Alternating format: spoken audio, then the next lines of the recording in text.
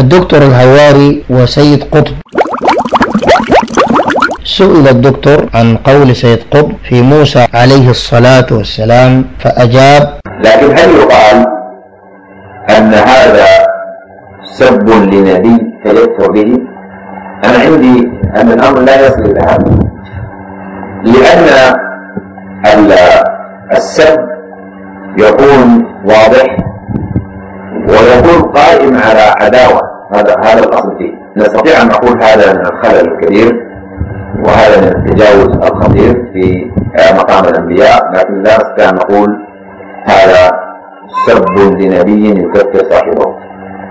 لأنه قد يكون بعدين مراعاة بيئة الناس ولغاتهم مهمة. فقد يكون هو كون عنده مندفع مندفع ليست ليست عيب عنده.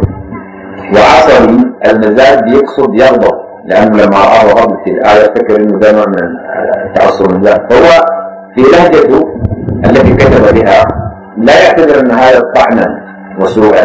رغم أن الدكتور الهواري يقول عن كلام سيد قطب في نبي الله موسى عليه الصلاة والسلام أنه قول خطير وتجاوز سيء غير مقبول وهذه تعبيرات سيئة وغير مقبولة وغير لائقة إلا أنه ناقض نفسه بنفسه وأخذ يعتذر له بأن هذا لا يكفر به.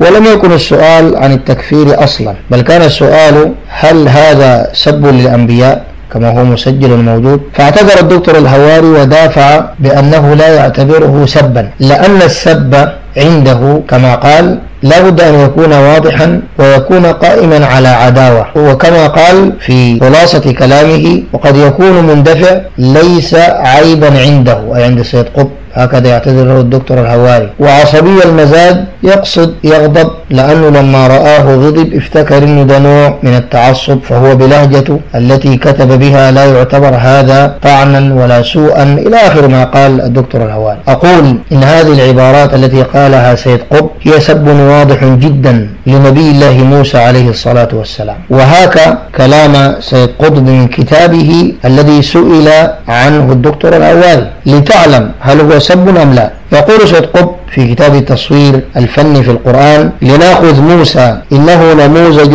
للزعيم المندفع العصبي المزاج. ويقول أيضا عن موسى عليه الصلاة والسلام وهنا يبدو التعصب القومي كما يبدو الانفعال العصبي. وسرعان ما تذهب هذه الدفعة العصبية فيثوب إلى نفسه شأن العصبيين. ويقول أيضا عنه عليه الصلاة والسلام في آيات لم يفهمها سيد قطب وهو تعبير مصور لهيئة معروفة هيئة المتفزع المتلفت المتوقع للشر في كل حركة وتلك سمة العصبيين أيضا. ويقول أيضا بعدها عن موسى عليه الصلاة والسلام إنه الفتى العصبي نفسه. ويقول أيضا عن كليم الله موسى عليه الصلاة والسلام في قوله تعالى فلما تجلى ربه للجبل جعله دكا وخر موسى صعقا فلما أفاق قال سبحانك تبت إليك وأنا أول المؤمنين بعد هذا كله قال عن موسى عليه الصلاة والسلام عودة العصبي في سرعة واندفاع ويقول عن موسى عليه الصلاة والسلام في آيات لم يفهمها أيضا وليس المجال مجال تفسيرها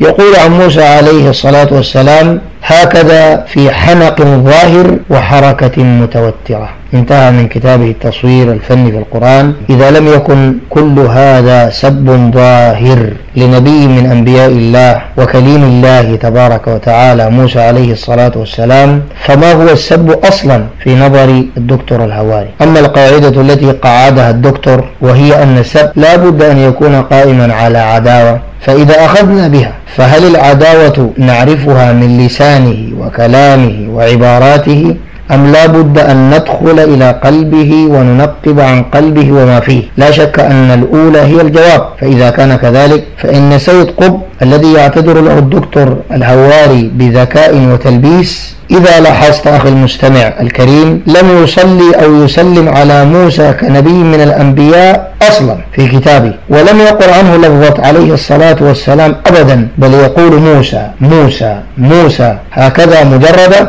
في كل مواضع ذكره له في كتابه. وبعد ذلك وفوق ذلك يصف بأنه عصبي المزاج وبتلك الأوصاف التي لو وصفنا بها الدكتور الهواري لأرعد وأزبد فكيف تكون في حق نبي الله موسى ليس سبا والدكتور الهواري يعتذر له ويقول بالحرف عن سيد قطب فهو بلهجة التي كتب بها لا يعتبر أن هذا أي لفظة عصب المزاج طعنا وسوءا ويقول قبلها معتذرا له أيضا بعدين مراعاة بيئة الناس هكذا يقول ولغاتهم مهمة. فقد يكون عنده هو كون مندفع ليس عيب عنده. سبحان الله. مندفع هذه عن موسى عليه الصلاة والسلام. ليست عيبا؟ لا والله. هي عيب كبير بل هي تكذيب للكتاب والسنة. لأن موسى عليه الصلاة والسلام صبور جدا وليس مندفعا كما قال سيد قطب الذي يعتذر له الدكتور الهواري ويكفي في ذلك قول النبي صلى الله عليه وسلم رحم الله أخي موسى قد أوذي بأكثر من هذا فصبر كما رواه البخاري في الصحيح. وقال الله سبحانه وتعالى آمرا نبيه محمدا صلى الله عليه وسلم أن يصبر كما صبر أولو العزم من الرسل ومنهم موسى عليه الصلاة والسلام. قال تعالى فاصبر كما صبر أولو العزم من الرسل ولا تستعجل لهم كأنهم يوم يرون ما يوعدون لم يلبثوا إلا ساعة من نهار. بلاغ فهل يهلك إلا القوم الفاسقون؟ فكيف يكون مندفعا؟ ثم من أين علم الدكتور الهواري أن سيد قطب يقصد أن لفظة عصبي المزاج ليست طعنا ولا سوءا؟ من أين علم هذا؟ من أين؟ أقول يا ترى لو كان سيد قطب حيا هل كان يستطيع أن يعتذر مثل ما اعتذر له الدكتور الهواري رئيس المجلس العلمي لتنظيم الإصلاح.